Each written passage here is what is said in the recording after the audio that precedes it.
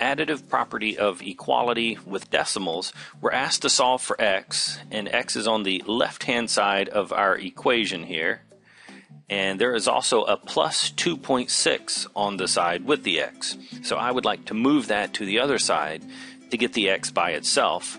So what I need to do is I need to do the opposite of adding 2.6. I need to subtract 2.6.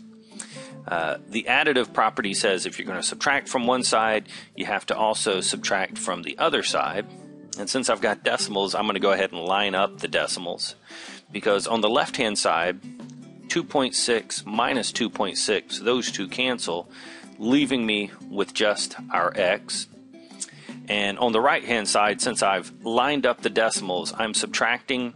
I've got a positive minus a 2.6. So I'm supposed to subtract and keep the sign of the larger.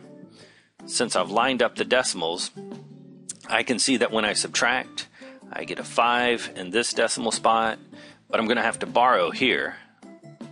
Let's see if I borrow and bring that one over. 11 minus 6 gives me another 5. And then the 8 minus the 2 gives me 6. And I said we have to keep the sign of the larger, so it's a positive 6.55.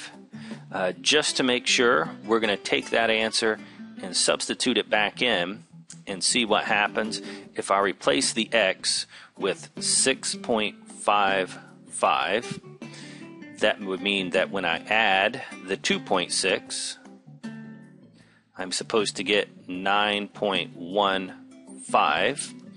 And let's see on the left hand side, if we line these up 6.55, 2.6, and we add, bring the 5 down. The 5 plus the 6 gives me 11, carry the 1, my decimal goes in the same place, and I have 9. So, yes, the left is 9.15, the right is 9.15. Checking our answer, it worked. 6.55 is the solution for x.